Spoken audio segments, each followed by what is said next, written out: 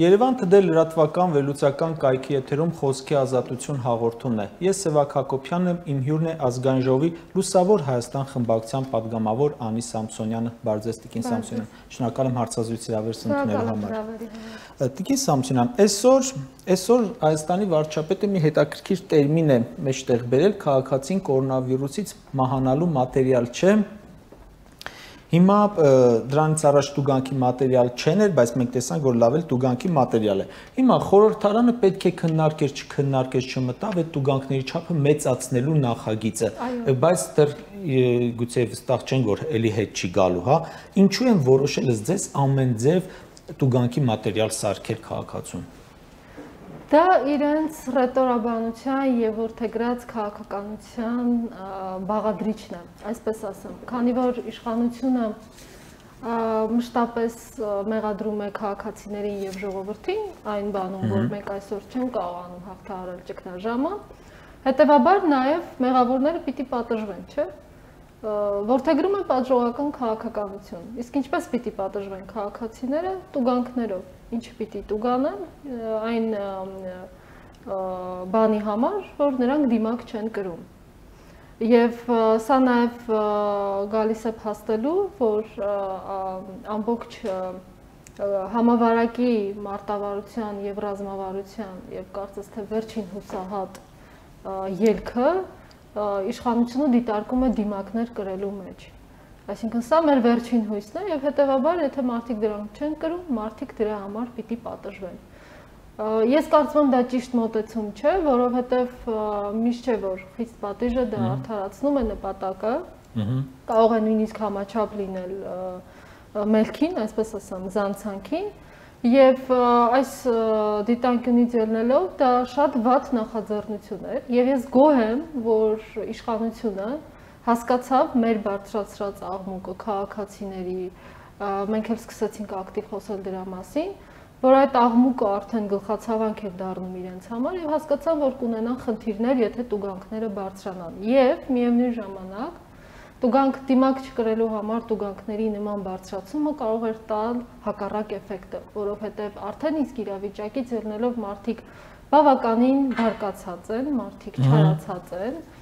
դեպրեսիվ են եւ ցանկացած քայլ, որը իշխանությունը անում է նրանց պատժելու համար, դա իրենք ընդունում են սվիններով եւ կարող են հակառակ գործողություններ անել։ Օրինակ այսօր մենք տեսանք կառավարության դիմաց ակցիա էր։ Ռեստորաննատերերը, ռեստորանի աշխատողներ, շոու բիզնեսի ներկայացուցիչներ ճիշտ հարց են բարձրացնում, մենք 5 ամիս է շուրջ չենք աշխատում այլ բան չկար, քան ակցիան ավարտվեց ոստիկանական մեքենայի մեջ։ Ինչպես միշտ։ Հա, ինչպես միշտ։ Հիմա մի հատ էլ դեպք ունեինք, երբ որ այժմ падգամավորներ ակցիա անում, ու ճեպազրույց էսել էր ճեպազրույց, բայց իրենց բերման չընթարկեցին։ Հիմա ուզում ենք հասկանալ, սա երկակի ստանդարտ է, թե ինչ որ մի պա ճեպազրույց իրենց օգուտ էր դրա համար թողում էին, սա վնաս է դրա համար չեն թողում նախ ուզում եմ անդրադառնալ ռեստորանների խնդրին։ Սա իսկապես շատ լուրջ հարց է, որովհետև ռեստորանները դա միայն ռեստորանները չեն, նրանց գործունեությունը չէ, այլ դա մի մեծ ինդուստրիա է տարբեր բնագավառներով երկիչներ, երկչուհիներ, օպերատորներ, լուսանկարիչներ, հարսանյաց սրահներ, այսինքն դա մի մեծ այսպես ասեմ ինդուստրիա է, որը կանգնած է մեռնելու եզրի։ Մեռնելու եզրի եւ այդ մարդիկ այսօր մնացել են անգործ, այդ մարդիկ ժամանակին վերցրել են շատ պատվերներ, չեն կարողանում փակել իրենց վարկերը Եվ այս իմաստով հայտնվել են փակուղու արչև եւ իշխանությունը, կառավարությունը որևէ լուծում չի տալիս այս հարցին։ Մենք նույնպես լուսավոր Հայաստանի падգամավորներով դիմել ենք, ասել ենք գոնե եթե չեք թողնում գործունեությունը, լավ, ընդունենք, որ դա վտանգավոր է եւ այո, համավարակի տարածման մեծ վտանգ կա, բայց բիզնեսը փրկելու լուծումներ են պետք։ Բայց կառավարությունը այս մասով որևէ լուծում չունի բնականաբար, որովհետև կառավարության համար բիզնեսը փրկելը դա բարդ է, որովհետև չկան այդտեղ ուղեղներ, մտքեր, որ նստեն մտածեն, թե ինչպես կարելի է փրկել այդ բիզնեսը եւ սա մեզ համար ցավալի է։ Իսկ ինչ վերաբերում է ակցիաներին, այո, ես մի առիթով ասել եմ, որ առհասարակ փողոցում ակցիաներ անելը եւ դրան ոստիկանության միջամտությունը իրականացվում է ընտրողաբար որովհետև մենք տեսնում ենք, որ իշխանության կողմնակիցները կարող են փողոցում ակցիա անել, հա, հեղափոխության կողմնակիցները կամ իրենք ինչպես իրենց անվանում են, սպիտակները կարող են փողոցում ակցիա անել եւ իրենց որևէ կերպ որևէ միջամտություն չլինի, ինչը նաև տեսանք մենք վերջերս նախագահականի 3, եթե չեմ հիշում, նախագահականի դիմաց падգամավոր Արման Բաբաջանյանն էր ակցիա անում, բայց երբ այդ մարտիկ սևեր են, որոնք չեն պաշտպանվում իշխանության կողմից եւ համարվում են իշխանության քաղաքական գաղափարական հակառակորդներ, նրանց բերման են ենթարկում։ Եվ այստեղ շատ կարևոր է հասկանալ ինչ է նշանակում ակցիա։ Մեկը գալիս է կանգնում են 10 հոգով, դրա անունը դնում են ասուլիս կամ ճեպազրույց, դա ակցիա չէ, մեկը գալիս կանգնում է օրինակ մի հոգով իր բողոքը արտահայտելու համար, եւ այդ մարդուն բերման են ենթարկում։ չէ որ քաղաքական ակցիա են անում, օրինակ այսօր այդ ռեստորանատերերը։ Այո, Այո, սա ընտրողաբար խտրական մոտեցում է եւ այս խտրական մոտեցումը ես ուզում եմ նշել ոչ թե սա ոստիկանության մելքն է, որովհետեւ ոստիկանությունը հրահանգ կատարող է։ Ոստիկանությունը ենթարկվում է Հայաստանի Հանրապետության վարչապետին եւ այնտեղ է որոշվում թե ումը պետք է փողոցից տանել բաժին ումը պետք է թողնել, որ փողոցում ինքը հանգիստ Կարծում եք այդքան մանր մանր բաներ հետևից է վարչապետին այս սրան տարեք, սրան թողեք, այս ակցիան արեք, այս Եթե վարչապետը չի, այնտեղ կան որոշումներ, այլ այլ որոշումներ կայացնողներ, որոնք ես կարծում եմ այս հարցի շուրջ հաստատ քննարկումներ կունենան։ Բնականաբար այդ պահին չի հրահանգում վարչապետը այսպես անել, թե այնպես անել, բայց ընդհանուր քաղաքականությունը, հա, մոտեցումը այդպիսին է, որթեգրված մոտեցումը այդպիսին է մի քանի օրից ազգային ժողովում նիստ կլինի, որտեղ վարչապետն արդեն ասել է, որ արտակարգ դրությունը երկարացվելու է եւս մեկ ամսով։ Ըստ ձեզ օրինակ նշեցիք, որ դիմակների թանկացման, հա, հնարավոր այդ բարձրացման, տուգանքների բարձրացման հարցը կարող է հակառակ էֆեկտ ունենալ։ Հիմա կարող է արդեն ըստ ձեզ արտակարգ իրադրության եւս մեկ անգամ երկարաձգում հենց հակառակ էֆեկտ ունենալ արդեն քաղաքացիների մոտ, որտեղ մարդկանց մոտ դժգոհությունը վերջո հասունացած է։ Այնպես չպատրաստում են տունը նստած մնալ։ Ինչի կբերի, ինչի համար է։ Հաղթահարման տեսանկյունից իմ համոզմամբ արդյունավետ էին առաջին երկու փուլը արտակարգ դրության։ Այս արտակարգ դրությունը այլևս արդյունավետ չէ։ Առաջին երկու փուլը իշխանությունը պիտի օգտագործեր շատ հմտորեն, շատ թիրախային եւ շատ կազմակերպված, ինչը մեջ չի եղել, որպիսի կարողանային համավարակի օջախները շատ արագ սահմանափակեին կամ մարեին, ամրացնեին ենթակառուցվածքները առողջապահության եւ այն համակարգերի, որոնք անհրաժեշտ էին համավարակի դեմ պայքարում, եւ այդ ամենը կտար միանգամից արդյունք։ Իշխանությունը չի աշխատել այդպես, իշխանությունը չի ունեցել ռազմավարություն, իշխանությունը չի ունեցել միասնական սկզբունքային եւ ոչ հակասական դիրքորոշումներ համավարակի վերաբերյալ, դա իրենք իհարկե բացատրում են այն հարցով, որ աշխարհում էլ չգիտեին, թե ինչ է իրենց ներկայացնում այդ համավարակը, բայց բոլոր դեպքերում իշխանությունը շտապել է անել այնպիսի հայտարարություններ, որոնք մարդկանց գցել են թյուրիմացության մեջ։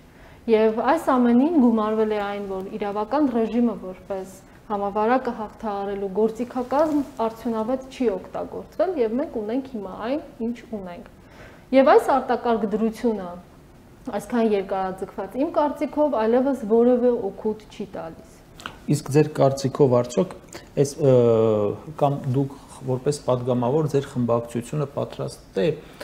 կորոնավիրուսի մահերի համար պատասխանատվության հարց բարձրացնել, որտեղ Նիկոլ Փաշինյանն ասում է մեռնելու մատերիալ չեն, բայց մարդիկ այսօր 20 մահ արդեն կար։ Հիմա ի վերջո պետք է պատասխանատվության ենթարկվող լինի այս ամենի համար, թե չէ։ Ցավը գիտեք ինչու՞մն է, որ նույնիսկ համավարակի այս պայմաններում իշխանությունը եւ հատկապես Հայաստանի Հանրապետության վարչապետը կարծում են, շարունակում են մտածել, որ իրենց այդպիսի տպավորիչ գունեղ արտահայտությունները Ինչպես օրինակ ժամանակին ասում էին մարդը տուգանքի մատերիալ չէ, հա, պարոն Փաշինյանն էր ասում, եւ դա մարդկանց դուր էր գալիս։ Հիմա դա կրկնել այլ համատեքստում մարդկանց առողջապահության, մարդկանց կյանքի, մարդկանց, չգիտեմ, անվտանգության այս ամբողջ համատեքստում նման արտահայտություններ անել, դա մարդիկ նորից ընդունելու են այդպեսին, ինչպեսին որ ընդունում էին նախկինում։ Այսինքն սա մենք արձանագրում ենք որ առհասարակ երկրի պետական կառավարմանը, առհասարակ քաղաքացիների խնդիրներին եւ դրանց լուծումներին իշխանությունը շարունակում է վերաբերվել այդպիսի պոպուլիստական գունեղ հայտարարություններով եւ դա համանախապակվում է ընդամենը մարդկանց ականջին հաճո հաճո ինչ որ խոսքերով, որը իմ կարծիքով մարդիկ այլևս դա չեն ընդունում, որտեղ մարդիկ տեսնում են, որ վարակակիրները օրեցօր շատ է, այսինքն մենք նվազում չենք տեսնում, մենք դրական միտում չենք տեսնում, մարդիկ կորցնում են հարազատներ, այսինքն մարդիկ իրական կյանքում զգում են այն, ինչը մանիպուլացնում է իշխանությունը եւ այս իմաստով սա ուղակի ողբերգություն է մեզ համար։ Իդեպ դուք ներսից եք իմանաքի վերջո հաջողվեց բարձել ազգան ժողովի պատգամավորները հիվանդիվանդ էին եկել նիստի բերման ենթարկվել, թե եկել հետո են հիվանդացել, հնարավոր եղավ parzել թե չէ խոսքը իմ քայլական падգամավորների մասին է, որ հենց ՍԴ-ի վերաբերյալ քննարկումից հետո մի քանի հոգով վարակվեցին կորոնավիրուսով մամուլում տարածվեցին լուրեր եւ այդ падգամավորները իրենք հոստովանեցին, որ իրենք ունեցել են ախտանշաններ որքանով որ գիտեմ հերքեցին, որ իրենք եղել են հաստատված վարակակիր, բայց ունեցել են ախտանշաններ։ Նույնիսկ այդ դեպքում, եթե իրենք ունեցել են ախտանշաններ, բայց միևնույն ժամանակ իրենց բերել են, ստիպել են կամ իրենք են եկել, որպեսզի մասնակցեն այդ քվեարկությանը, իրենք վտանգի տակ են դրել մեր բոլորիս առողջությունը։ Եվ վերջին արտահերտ նիստի ժամանակ մենք այդ հարցը պարլամենտում բարձրացրեցինք, որ երկու խոշոր խմբակցություններում իմ քայլը խմբակցությունում եւ ընդդիմադիր խմբակցությունում կան վարակակիրներ եւ հետեւաբար այդ մարտիկ կանի որ մի խմբակցությունում են մի միջավայրում են աշխատել միասին նաեւ կլինեն կոնտակտավոր անձինք Հիմա ինձ համար անհասկանալի է օրինակ բոլորը ազգային ժողովում այդ երկու խմբակցություններում թեստավորում անցել են, թե չեն անցել։ Օրինակ Բարգավաճ Հայաստան խմբակցությունում ես գիտեմ այն մարդիկ, ովքեր անցել էին, իրենք եկել էին բայց մեծամասնությունը չէր եկել։ Իսկ իշխանության իմ քայլը խմբակցության մեծամասնությունը եկել էր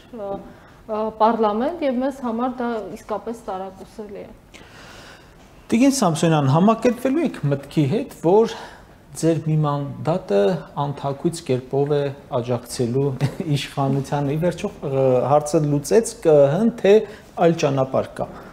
Մենք հույս ունեինք, որ ԿՀ-ն մեր հարցին լուծում կտա, որովհետև խախտվել է ընտրական օրենսգրքի պահանջը ընդդիմության 1/3-ի իրավունքը եւ մեր 18-րդ մանդատի վերադարձը միտված էր հենց այդ իրավունքի վերականգնմանը։ Բայց ինչպես տեսանք, ԿՀ-ն մերժեց պատճառաբանելով, որ ինքը նման իրավասություններ չունի, բազմաթիվ հարցեր հնչեցնելով բայց բոլոր դեպքերում մենք կարծում ենք, որ այդ իրավունքը իսկապես խախտված է եւ մենք պիտի վերադարձնենք, օգտագործենք բոլոր հնարավոր տարբերակները, որպեսզի վերականգնենք այդ իրավունքը եւ դատարան? Հայաստանի մանդատը վերադարձնենք։ Հետագա աշխատանքների մասին մենք կտեղեկացնենք, թե ինչ այլ ճանապարհներ ենք տեսնում։ Տիկին Սամսոնյան, իշխանությունը ի վերջո կարողացավ այդքան ասեցին ՍԴ-ում կա ճգնաժամ, ճգնաժամ վերջը կարողացան հասնել այդ ճգնաժամին ու առաջին անգամ համանadrական դատարանում նիստ տեղի չի ունենում, իհարկե այդ ճգնաժամին հասնելու համար միայն իշխանության ջանքերը բավարար չէին, այնտեղ իշխանությունը, նախագահը, դուք, մի խոսքով համատեղ ուժերով կարողացաք հասնել։ Հիմա Էդմոն Մարուկյանն ասում է, որ ավարտին են հասցնում, ավարտին եք հասցնում ՍԴ ուղարկվելիք դիմումը։ Տիկին Սամսյան, ինչ դիմում է, ինչու է այսքան երկար պատրաստվում եւ ինչպիսի եւ ինչպես եք վերաբերում նրան, որ արդեն ՍԴ-ում կա ճգնաժամ։ Դիմումի բովանդակության վերաբերյալ մենք նախնական տեղեկություն տրամադրել ենք առայն, որ դա լինելու է հարցերի շուրջ, այո, Գլխավոր երկու հարցերը լինելու է այն, թե արդյոք մենք իրավասություն ունենք վիճարկելու այդ համանդրական դատարանի փոփոխությունները համանդրական դատարանում, որտեղ օրենքով այդ լիազորությունը պատկանում է ազգային ժողովին եւ ոչ թե падգամավորներին կամ խմբակցությանը։ Այսինքն ազգային ժողովը որպես մարմին պիտի դիմի։ Ա, բայց երևի նա ժամանակին օրենսդիրը երբ գրել է սա, չի մտածել, որ տեղի կունենան այսպիսի խայտարակ փոփոխություններ, խայտարակ ընթացակարգերով եւ ամեն ինչ կխառնվի իրար։ Եվ երկրորդը արդյոք ճիշտ է նախագահային զրկել իր լիազորություններից, ստորագրելու համանadrական փոփոխությունները, որովհետև մենք դրանով մեծ վնաս ենք հասցրել ինստիտուտներին, այն ինստիտուտներին, որոնք միմյանց զսպում են։ Եվ նախագահի նախագահը որպես այդպիսի զսպող ինստիտուտ, փաստորեն արանքից դուրս է գալիս եւ մենք ունենք մի իրավիճակ, երբ ազգային ժողովում մեծամասնություն կազմող մեկ քաղաքական ուժը կարող է համանadrական փոփոխություններ իրականացնել, երբ իր քելքին փչի, երբ ցանկություն հայտնի եւ դրա զսպման որևէ օղակ մենք կարող ենք ճանաչել։ Բայց կա նաեւ մեր հնարավորությունը, դուք գիտեք падգամավորների հնա 1/3-ի հնարավորությունը դիմելու եւ մենք այդ հնարավորությունը օգտագործում ենք որպեսզի դիմենք համանadrական Երբ երբ Տիկին Սամսոնյան Մենք ասել ենք պայմանը Դուք ձեր պայմանը շատ հետաքրքիր է 7-ին երբ կքննվի Ռոբերտ Քոչարյանի գործը Գործը չքնվեց Գործը չքննվեց դրա մեղավորը մենք չենք մենք ունենք երամսյա ժամկետ Մենք կսպասենք, երբ գործը կքննեն, կանցնենք մեր դիմումի։ 3 ամսյա ժամկետում չքննելը հավանական է։ Եվ ինչ է կանելու։ Գիտեք, դրա մեղավորը մենք չենք, ես նորից եմ ասում, որովհետև ես կարծում եմ այդ հարցի պատասխանը նաև պիտի տա համանadrական դատային նախագահին, թե ուր է ինքը եւ ինչու չի քննում այդ դիմումը։ Ով է ՍԴ նախագահը։ Համանadrական դատարանի նախագահը համարվում է, որ Հրաշ Թոմասյանն է։ Հա, այն լիազորությունով չի Համանadrական փոփոխություններով արդեն համարվում է, որ Հրաշ Թոմասյանը դադարեցրել է իր պաշտոնավարումը բայց մենք քանի որ կարծում ենք որ համանadrական դատանի այդ փոփոխությունները իրենք տեղի են ունեցել սխալ ընթացակարգերով եւ դրանք ոչ իրավական իրենց մեջ ունեն շատ խոցելի տեղեր, այսինքն խախտվել է օրինականությունը եղել է ապօրինի, հետեւաբար մենք տեսնում ենք նաեւ այդ խնդիրը։ Բայց նաև դուք վստահություն եք հայտնում ազգային ժողովի ճեպազրույցում անձամբ դուք չէ, այլ Էդմոն Մարուկյանը եւ պարոն Տարոն Սիմոնյանը, որ Ալինա Գյուլոմյանը շարունակելու է որպես դատավոր, բայց փաստացի չմնաց մարդը որպես դատավոր ու դիմել է մի հետ։ Իր իրավունքն է դիմելու մի հետ հայտարարել էր եւ դիմեց մի հետ, այո, իր իրավունքն է։ Այսինքն նա կարող է նաեւ գործել, բայց չի դատավորների իրավունքն է դիմել եւ որքանով որ գիտեմ դիմել են արդեն մի հետ եւ ընթացակարգերով իրենց դիմումը քննարկվելու է։ Տիկին Սամսյան։ Մենք մենք հենց սկզբից ասել ենք, որ այս փոփոխությունները համանadrական դատանի շուրջ իշխանությունը պիտի իրականացնի հնարավորինս անխոցելի, որպեսզի մենք այս իրավիճակի առջև չկանգնենք։ Հա, բայց դուք տեսնում եք, որ խոցելի է անում, բայց ասում եք ոչինչ որ խոցելի է։ Մենք չենք ասում ոչինչ որ խոցելի է։ Եթե մենք այդպես ասեինք ոչինչ որ խոցելի է, մենք չէինք դիմի համանadrական դատարան։ Բայց չեք դիմեք դուք համանadrական դատարան։ Աստված գիտի դուք կդիմեք, թե չեք դիմի։ Մարդիկ սպասում են, որ մենք դիմելու ենք, մեր դիմումը մենք արդեն պատրաստում ենք եւ դա այո դիմելու ենք։ Եթե չեն հավատում, ես պետք է հիասթափեցնեմ։ Որտեվ դուք շատ ճշգրիտ ներկայացնում եք իրավիճակը, որ սահմանադրական կարգի տապալում է, խախտում է, սահմանադրության խախտում է, հա։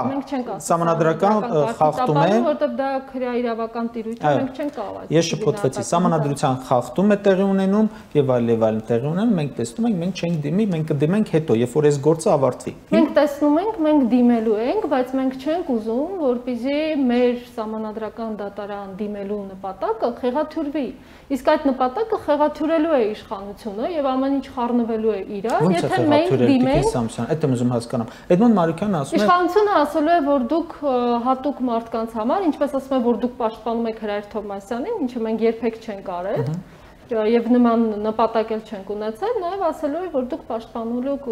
եթե դիմում եք ՍԴ, դուք պաշտպանելու եք օրինակ Ռոբերտ Քոչարյան անձին։ Իսկ քանի որ մենք անձերին երբեք չենք պաշտպանել, մենք դրա հետ որևէ կապ չունենք, հետեւաբար որպեսզի մեր նպատակը չխեղաթյուրվի, մենք շատ անկեղծ ենք այդ Իսկ ինչու դա ինչու է անկեղծ Տիկին Սամչյան։ Հետևյալն եմ ես ուզում հասկանամ, էլի, եթե դուք տեսնում եք խախտում, դուք բարձրաձայնում եք այդ խախտման մասին, դուք ինչու եք նայում, թե սա ում կվերաբերի։ Մենք գիտենք ինչու ենք իշխանությունը ինչ կմտածի, որտեղ ձեզ էլ հիմա մտածում են արդեն, որ դուք իշխանության հետ կապ ունեք։ Չէ, կներեք, մենք իշխանության հետ կարող էին մարդիկ մտածել, եթե մենք երբևէ ասենք, որ մենք չենք դիմում համանadrական դատարան, ինչ արել են, լավ են արել, ոչինչ։ Մենք այդպես չենք ասել հենց սկզբից, եւ մենք այն քաղաքական ուժն ենք եղել, որը շատ անկեղծորեն իր դիրքորոշումը շատ հստակորեն հայտնել է դեռևս հարակվեի նշանակելու առաջ։ Դուք հիշում եք, որ սա ունի նախապատմություն։ Եվ մենք այն ժամանակ էինք դեռ ասում, որ ձեր այս ամբողջ գործընթացը հարգելի իշխանություն, ապօրինի է։ Եվ սա այդ գործընթացի շարունակությունն է։ Եթե մենք չդիմեինք համանadrական դատարան պաշտպանելու պետությունը, իրավական պետությունը, ես կասեի, այո, դուք ճիշտ եք, եթե մենք չենք օգտագործում մեր այդ լիազորությունը, ուրեմն մենք միգուցե իշխանության հետ ինչ որ, չգիտեմ, խոսակցություններ ենք ունեցել այդ մասին, բայց ես բոլորին նորից պիտի հիասթափեցնեմ, որ մենք գործիք չենք ոչ իշխանության համար, ոչ էլ այն կողմի համար, որը այսօր օրինակ միտումնավոր ձգձգում է Ռոբերտ Քոչարյանի գործը։ Օրինակ Հրայր Թովմասյանի համար որը կարող էր Ռոբերտ Քոչարյանի գործի քննությունը իրականացնել իմ կարծիքով շատ ավելի շուտ։ Չուղարկեր Վենետիկի հանձնաժողով, միևնույն է Վենետիկը ասես դուք որոշեք։ Ինքը որոշեր եւ այսքան երկար ժամանակ չձգեր, գերի չպահեր Ռոբերտ Քոչարյանին, նրա ընտանիքին իր պաշտոնավարման ժամկետը երկարացնելու համար, օգտագործելով Ռոբերտ Քոչյանի գործը, նրա ընտանիքի ռեսուրսը, որպեսզի մնա համանadrական դատարանի նախագահ Եվ այսօր ուր է այդ նախագահը։ Ես չհասկացան չեն շփում օգտագործել Կոչյանի ընտանիքի ռեսուրսը, որ մնաց դու նախագահն չեն դա։ Այս ընթացքում ես այդպես եմ տեսնում, ընդհանուր պատկերը որ վերլուծում ենք, այդպեսին է որ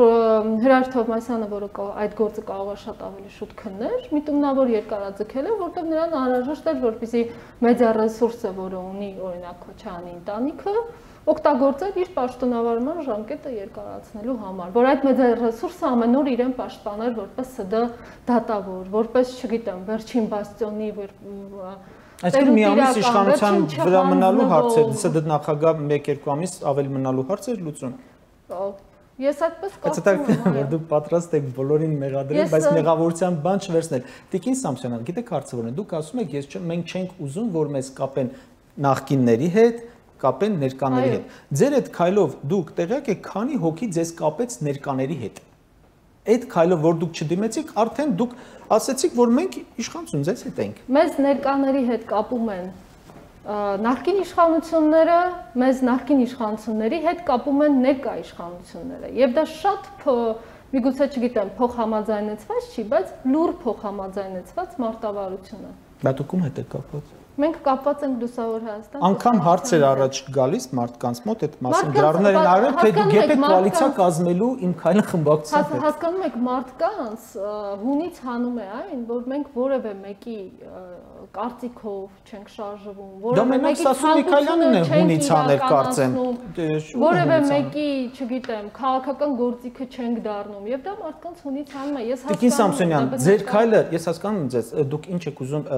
բացատրել ինձ, բայց հարցն է, որ այս պահին լուսավոր Հայաստանից մեկ ձայն էր պետք դիմելու ՍԴ համար, լուսավոր Հայաստանը չդիմեց ՍԴ, օգնեց իշխանությանը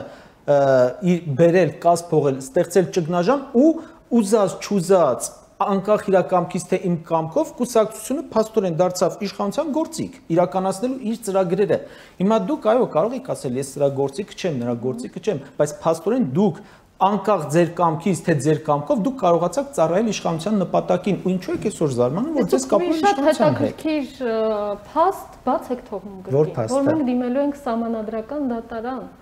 մենք դիմելու ենք մենք դիմում ենք համանadrական դատարան այնպիսի հիմնավորումներով որ դա քննվելու է Լավ, հիմա հետեւյալը։ Մի եւ մի բացառեք, որ ամբողջությամբ գործընթացը կարող է շուր գալ մեր համանadrական դատարան դիմելու։ Այ ապրեք։ Հիմա անցնենք դրան։ Դուք դիմելու եք համանadrական դատարան, երբ որ այս գործը ավարտվի։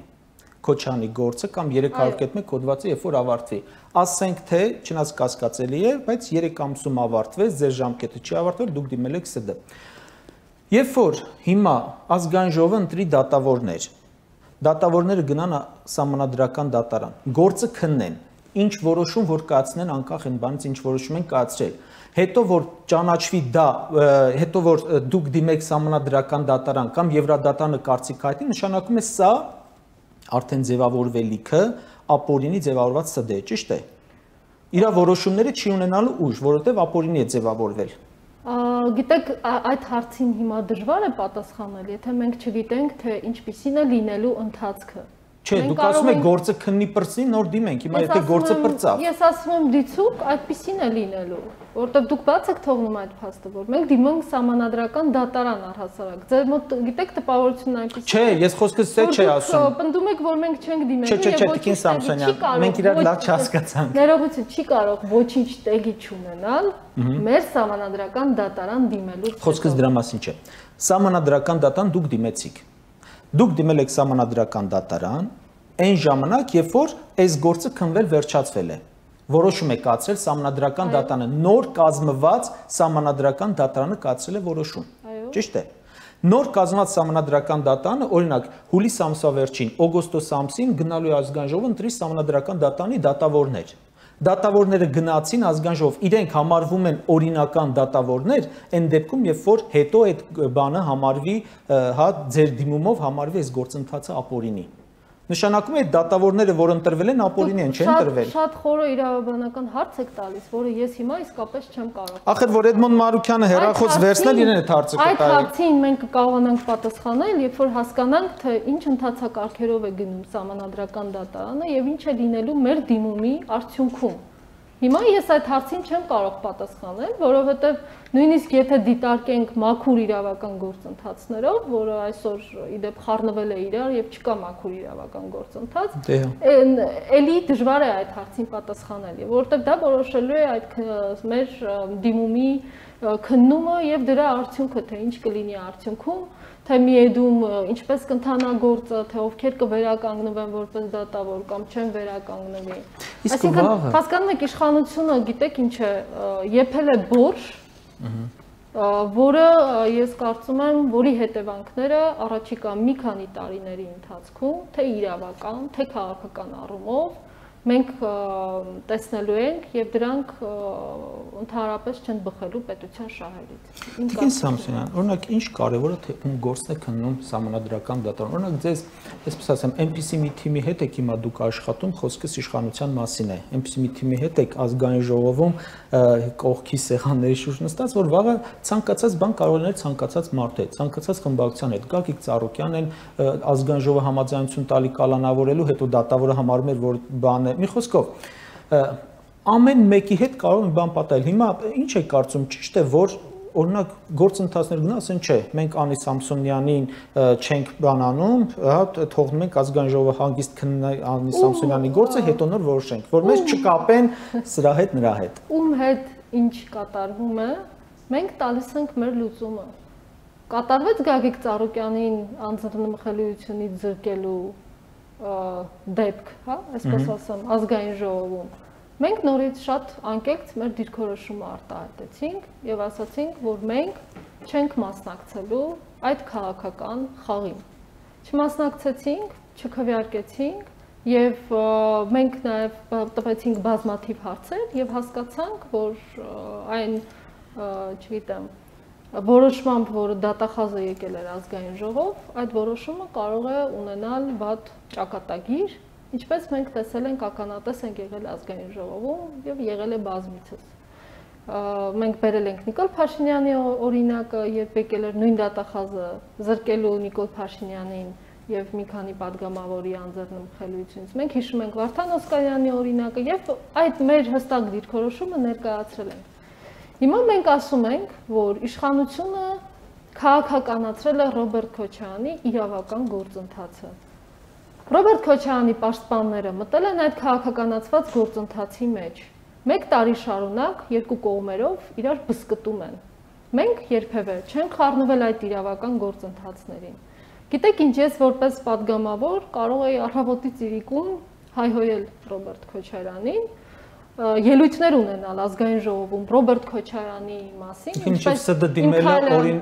իրավական էր, հետո դարձավ քաղաքական ինչպես իմ քայլի իշխանության ներկայացուցիչներն են արել, որպեսզի հեղինակություն վաստակեն դրա վրա։ Մենք դա չենք արել եւ դա մեզ պետք չէր։ Մենք առաջնորդվել ենք այն սկզբունքով, որ դա իրավական գործընթաց է եւ դա չպիտի քաղաքականացվի։ Հիմա քանի որ այդ իրավական գործընթացը եկել է հասել է համանadrական դատարան, Մենք ուզում ենք, որ այդ գործընթացը նորից չքաղաքականացվի եւ մեր դիմումով, սահմանադրական դատարան մեր դիմումով դա չդառնա քաղաքական process եւ այնպիսի տպավորություն հարային ընկալում իշխանությունները չստեղծեն, որ մենք մտել ենք այդ process-ի մեջ եւ չգիտեմ, ինչպես իրենք են սիրում անընդհատ ասել, օգնում ենք սևերին, հա։ Ես սև ու սպիտակ երբեք չեմ անում, դա իմը չէ, բայց խոսում եմ իրենց տերմիններով, որպեսզի մարդկանց համար ավելի ընկալելի լինի։ Մենք կարող էինք ասել, Գիտեք, փոքր ժամկետ էր, քիչ օրեր էին միջև հուլիսի 7-ը։ Մենք կմտածեինք, հա, հուլիսի 7-ին կքննեն, դե եկեք մի քիչ ձգձգենք, հարցազրույց չտանք, ասենք հələ աշխատում ենք։ Կարող ենք նման ինչ որ մարտավարություն կիրառենք, բայց դա մերը չի։ Մենք շատ նորից եմ ասում, շատ անկեղծ ենք խոսել այս հարցի մասին։ Տիկին Սամսյան, լավ, անցնենք այլ թեմայի, որ որովհետև միևնույն է ձեր պատասխանները չեն տարբերվում հուլիսի 7-ից առաջ ձեր ասած պատասխաններին դուք ասում եք հուլիսի 7-ից հետո դիմելու ենք։ Հուլիսի 7-ից հետո դիմելու ենք։ Հուլիսի 7-ից հետո չեք դիմել, ասում եք 3 ամսյա ժամկետ ունենք, 3 ամսում կդիմենք։ Եթե 3 ամսում իշխանությունը չի կարողանում գործը քննել, ինչ եք անում։ Պետքա դիմեք, թե չդիմեք։ Հուլիսի 7-ը ամսաթվային պայման չի եղել մեզ համար։ Հուլիսի 7-ը պայմանավորված է եղել համանadrական դատարանում այդ գործի քննմամբ Չգնաժամ այնտեղ։ Հասկանում եք, համանadrական Դեռ միշտ չի տեղի ունենում։ Երբ ազգային ժողովում քննարկում են համանadrական փոփոխություններ եւ միաժամանակ նույն օրը համանadrական դատանը որոշում է, որ հրատապ կերպով այդ հարցը պիտի բերի օրակարգ, մենք այդտեղ մեղավոր չենք։ Մենք դրանում մեղավոր չենք։ Իսկ դուք ընդհանցակարգերից տեղյակ եք, որ ասում են, եթե եկել է պատասխանը, հենց այդ նիստով պետք է աշխատակարգային նիստով պետք է որ նշանակվեր։ Շատ լավ, թող երկու օր հետո նիստ անեին, հայտարարեին։ Հենց նույն օրը պիտի հայտարարեին Մենք հիմնվում ենք քաղաքական առհասարակ քաղաքական դաշտում տեղի ունեցող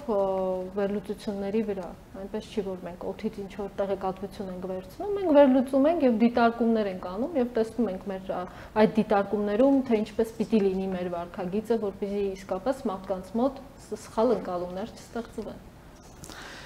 Տիկին Սամսոնյան, կա Հայաստանում վտանգ բռնապետություն ստեղծվելու ավտորիտարիզմի ճանապարհին ենք մենք հիմա, ես դա կարող եմ ասել եւ կարող եմ ասել մի քանի առումներով,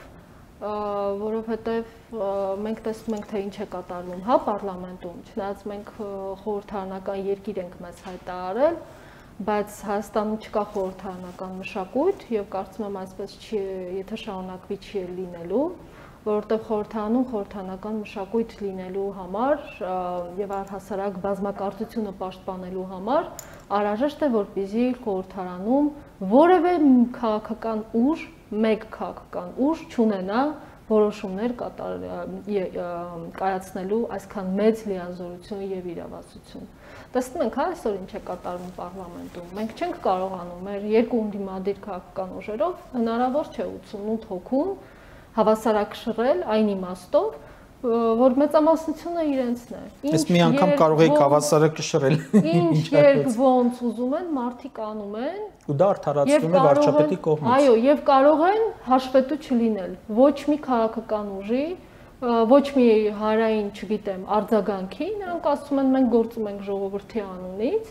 եւ աշխատում են ժողովրդի անունից Բայց սա նորից եմ կրկնում, մեզ կարող է տանել ավտորիտարիզմի, որովհետև որոշումների կայացման այսպիսի ընթացակարգերը, այսպիսի մեխանիզմները եւ այդ որոշումներին չհավասարակշռել, չհավասարակշռելու անկարողությունը բնականաբար վատ հետևանքներ է ունենալու բոլորիս համար։ Եվ པարզ է չէ, որ այդ որոշումների հիմքում մեկ անձի կամքն է։ Դա Նիկոլ Փաշինյանի, Հայաստանի Հանրապետության վարչապետ Նիկոլ Փաշինյանի կամքն է։ Բայց նաև պատմությունը մեզ սովորեցրել է, որ առհասարակ տարատեսակ սխալներ, տարատեսակ այլանդակություններ եւ տարատեսակ վտանգավոր հղի վտանգներով երևույթներ իրականացվել են հենց ժողովրդի անունից։ Այսքան բարձր լեգիտիմությունը շատ վտանգավոր է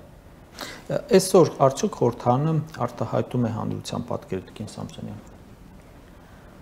2018 թվականի դեկտեմբերին, երբ որ ձևավորում էր խորհրդարանը, արտահայտում էր այդ պատկերը։ Այսօր, որտեվ էйֆորիայի մեջ հանրությունը տեսնում ենք մոմեր Նիկոլ Փաշինյանի նկարներով, օղի, չգիտեմ, արձաններ եւ այլն, բայց հետո տեսանք արձանը ջարդեցին, օղին չի վաճառվում, մոմերը մի խոսքով խանութներում են, հիմա արտահայտում է պատկերը։ Այս այս parlamento ձևավորվել է հեղափոխական իներցիայով։ Այսինքն մարդիկ ովքեր արել են հեղափոխություն, այդ մարդիկ գտել են, որ արդարացի է, որ այն քաղաքական ուժը, որը առաջնորդել է հեղափոխությունը, պիտի լինի իշխանություն։ Բայց միևնույն ժամանակ, քանի որ դա եղել է հեղափոխական իներցիայով, հետեւաբար մարդիկ չեն նայել, թե արդյոք ինչ է առաջարկում այդ ուժը։ Արդյոք այդ ուժը առաջար, արդյոք Հայաստանի Հանրապետության Նիկոլ Փաշինյանի գաղափարախոսությունը եւ նրա ծրագիրը համապատասխանում է իմ ապագայի վերաբերյալ հա պատկերացումներին։ Մարդիկ դա չեն դրա վրա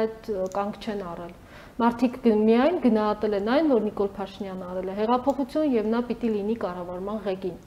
Թե հետո ինչ կանի Նիկոլ Փաշինյանը, դա դրա վրա արդեն չեն խորացել։ Եվ դրա համար ստեղծվել է այն պատկերը, որ կա մեծ հիասթափություն եւ շատերը արդեն հասկացել են, որ հեղափոխական ուժը իրականում չի գնում այն ճանապարհով, որը իրենք կուզեին։ Ես սա բնական է։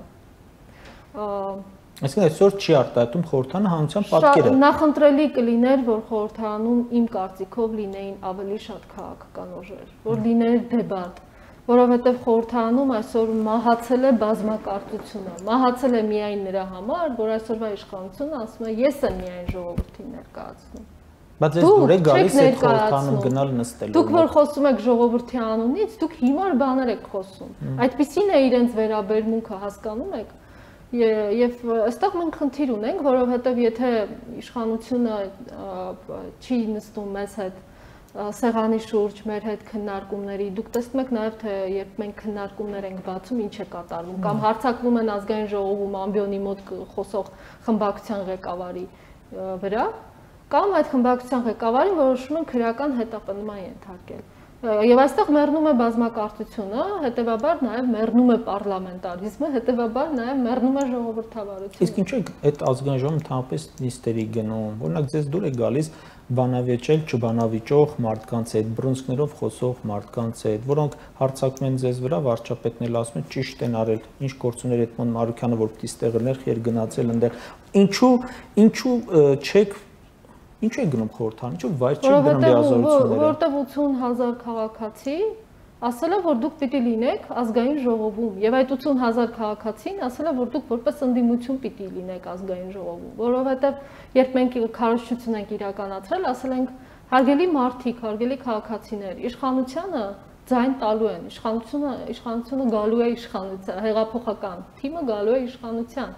Հիմա անհրաժեշտ է, որպեսզի դուք ընտրեք ընդդիմություն, որ կարողանա այդ իշխանության հետ աշխատել։ Հիմա մարդիկ ընտրել են այդ ընդդիմությանը, մենք գանք, ասենք, Չէ կներեք, շնորհակալություն ձեր քվեների համար, մենք գնացինք, մենք այստեղ չենք աշխատի։ Ոչ, մեզ ուղարկել են կռիվ տալու,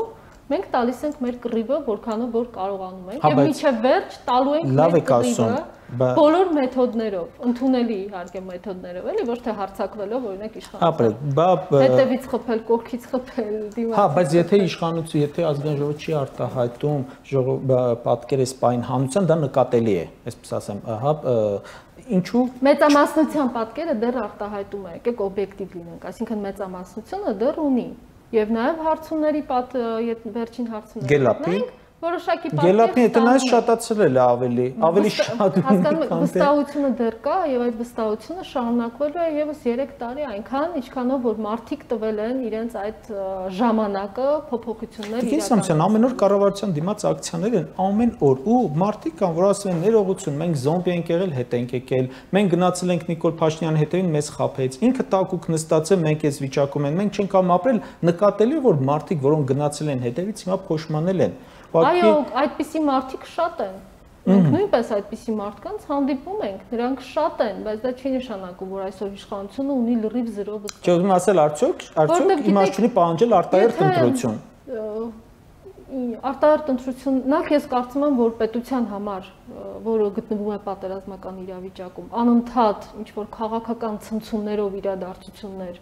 գեներացնել, անընդհատ ընտրություն պետք է տալ ժամանակ, որ գոնե որևէ թիմ կարողանա ինչ որ բան անել։ 3 3 տարի դեռ ունեն, եթե չկարողացան անել, շատ լավ, այդ հիասթափված մարդիկ իրականում հիասթափված մարդիկ էլի ոչ թե պարոն Փաշինյանի մոդելավորած հիասթափողները, այլ մարդիկ, ովքեր հասկացել են, որ սա այն ուժը չէ, որը համապատասխանում է իր չգիտեմ, երազած կառավարման նա թիմին։ Եվ այդ մարդիկ պարզապես պիտի գնան եւ ընտրությունը այլ քաղաքական ուժերի տան։ Եթե մարդիկ եթե ներողություն, եթե իշխանությունը երկիրը տանում է շատ վատողով, հա, տանում է բոլոր խոստումները տապալել է առանց բացառության։ Պարլամենտ պարլամենտում իրար ծեծում են Նիկոլ Փաշինյանն ասում է ես հպարտ եմ այս պարլամենտով։ Ավելի լավ չէ ասել ցտեսություն դու գնա։ Մարդիկ, մարդկանց խմբեր, ովքեր դուրս են գալիս եւ պահանջում են Նիկոլ Փաշինյանին։ Դե դրոշակը դուք վերցեք գնացեք։ Ասեք, մենք պահանջում ենք հրաժարական։ Ես նորից եմ ասում, դա այդ պահը դեռ չի հասունացել եւ պետք է հնարավորություն տալ, որ իրենց 3 ժամկետը իրենք լրացնեն։ Չեն կատարի իրենց սխալների համար։ Ժողովուրդը թող գնահատականը տա։ Եվ ի վերջո գիտեք ինչ, պետք է մենք ունենանք նորմալ ընտրություններ, թե ոչ։ Պետք է նորմալ ընտրություններով իշխանություն այս երկրում գոնե մեկ անգամ փոխվի, թե ոչ։ Ուզում ենք քաղաքական մշակույթ զարգացնել, ուզում ենք պետություն կայացնել, բայց չենք ուզում գոնե մեկ անգամ նորմալ հերթական ընտրություններով փոխել իշխանություն։ Տիգին Սամսոն, այսօրվա, այսօրվա Նիկոլ Փաշինյանը որքանով է տարբերվում 2018 թվականի Նիկոլ Փաշինյանից, կարող եք ասել 10 թվականի ապրիլ-մայիսի Փաշինյանից։ Ընդհանրապես նման չի։ Ինչն է փոխվել։ Միգուցե իշխանությունը։ Գիտեք, Շատ է խոսվում այն մասին, որ եւ նաեւ պարոն Փաշինյանն է խոսել դրա մասին, որ իրերը այլ ես դիտարկում, երբ դու ընդդիմադիր գործիչ ես եւ երբ գալիս ես իշխանության։ Բայց ես կարծում եմ, որ դա ազնիվ չէ մարդկանց ընտրողների նկատմամբ, որովհետեւ երբ դու որպես ընդդիմադիր քաղաքական գործիչ որթեգրում ես սկզբունքներ, ունես քաղաքական ողնաշար, ունես ասելիք, դրանով են մարդիկ որոշում, արդյոք քեզ պիտի տան հետագայում իշխանություն, թե չպիտի տան։ Եթե դու հետո ստանում ես իշխանություն, գալիս եւ փոխվում ես,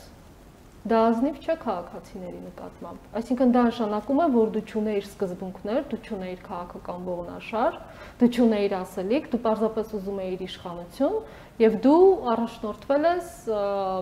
պոպուլիստական գծով, հա, այդ պահին հայտարարել այն ինչ որ դու ուզում ես, ինչ որ հաճո է ամբողջին, ինչ որ հաճո է մարդկանց, դրանով դու առաջնորդվել ես, բայց դու չես ունեցել սկզբունքներ։ Սա շատ կարևոր է, որպեսզի մենք հասկանանք։ Տեսեք, մենք այսօր որպես ընդդիմադիր քաղաքական ուժ մեր որոշումների կայացման դեպքում միշտ այդ պատկերը փորձում ենք տեսնել եւ ուզում ենք հասկանալ, արդյոք մենք դա կանեինք, եթե լինեինք իշխանություն։ Եվ սա շատ կարևոր է, որովհետեւ այդպես մենք կռում ենք նաեւ այսինքն կոփում ենք նաև մեր քաղաքական ողնաշարը եւ մենք վստահություն ունենք այն բանի նկատմամբ, որ վաղը եթե եկանք իշխանություն, մեր սկզբունքային ողնաշարը չի փլվելու։ Սա շատ կարևոր է։ Իսկ այս դեպքում պարոն Փաշինյանի դեպքում ինքը երբեք չի մտածել, որ արդյոք ինքը դա ասեց օրինակ ազգային ժողովի ամբիոնից, ելույթ ունեցավ, ինչ որ մեկին զրպարտեց, ինչ որ մեկին վիրավորեց։ Արդյոք ինքը դա կաներ որպես իշխանություն, կամ արդյոք իր այդ ասելիքը կունենա հետևանքներ կամ չի ունենա։ Այսինքն կարճաժամկետ էֆեկտով։ Ու ցավն այն է, որ այսօր շարունակվում է պետությունը կառավարվել այդ կարճաժամկետ էֆեկտի մտածողությամբ։ Իսկ ինչ է սպասում իրենց։ Մեզ լավ բանի չի հասցնում։ Ինչ է սպասում։ Այ այ մեզ լավ ասեցիք, իրոք մեզ լավ բանի չհասցնի, բայց իշխանությանը ուր կհասնի։ Ինչ է սպասվում Նիկոլ Փաշինյանին ու իր թիմին։ Մի տեսակ մի տեսակ շատ, այսպես ասեմ, վերևից են արդեն նայում ժողովրդին, որը հա մի ժամանակ կառավարության դուրն էր, հիմա կառավարության դրան մոտից բերման են ենթարկում, կառավարության դուրը ժողովրդի դուրն էր, հիմա անդերից բերման են ենթարկում։ Մի ժամանակ մի խոսքով բոլորը վարչապետ էին, հիմա մի խոսքով ինչ է սպասում իրենց։ Եթե իշխանությունը շարունակվեց ընդունել անհավասարակշռված որոշումներ, պահի էֆեկտով որոշումներ, եթե իշխանությունը շարունակեց ժողովրդավարությունը պահել էմոցիոնալ մակարդակում, եթե իշխանությունը շարունակեց երկիրը բսկտել սևերի ու սպիտակների, դավաճանների եւ նվիրալների, գեներացնել ատելություն, եթե շարունակեց դասեր չքաղել իր վարկագծից, անպատասխանատու վարկագծից, որ վստահ եմ այդպես է լինելու է։ Ես ես չեմ կարծում, որ վստահ եմ այս բանին, որ այդպես լինելու է, տալիս եմ, ասում եմ այն, ինչ իրենք պիտի վերանայեն եւ նաեւ դրա մեջ կա հնարավորություն։ Եթե այս ամեն ինչը տեղի չունենա, իշխանությունը դատապարտված է անհաջողության։ պետությունը իշխանության հետ միասին։ Շնորհակալ եմ հարցազրույցի համար։ Շնորհակալ եմ։